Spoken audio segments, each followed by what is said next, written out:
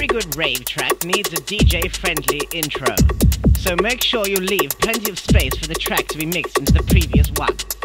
Build up percussion and some effects and stabs, but leave the main elements out for at least 32 bars.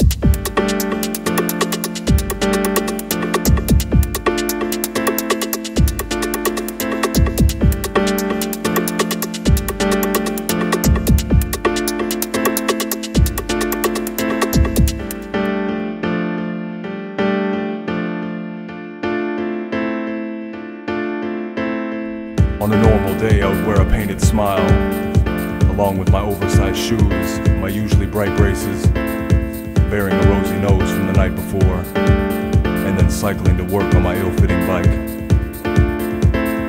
I arrive at 10 past 9 with the taste of coffee lingering from the breakfast table. The strong man's parked in my space, asshole. But I'm not one to argue. Work is the best remedy for grief, so I walk with a smirk beneath. So tonight is no ordinary night. I wear no painted smile. I sport my slick, tight loafers, shirt and tie, looking for a rosy nose in the bottom of a bottle. Cause tonight, I'm gonna party. party.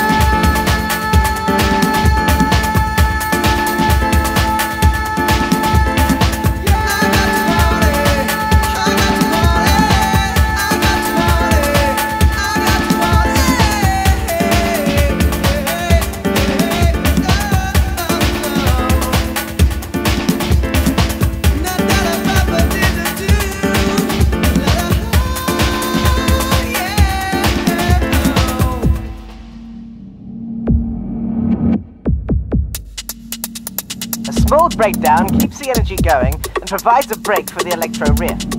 This type of breakdown is essential to keeping the track on form, which is pounding along at 130 BPM.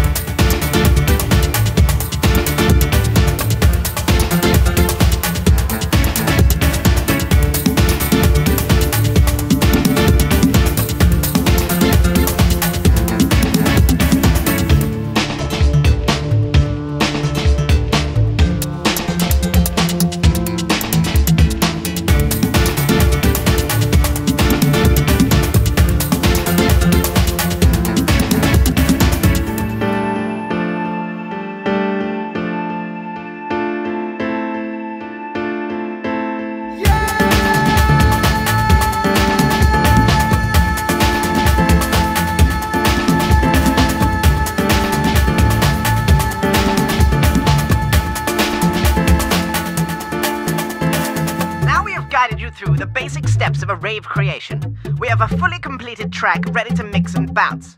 So the advice given, you can tear it up with your banging beats to help make the world a groovier place.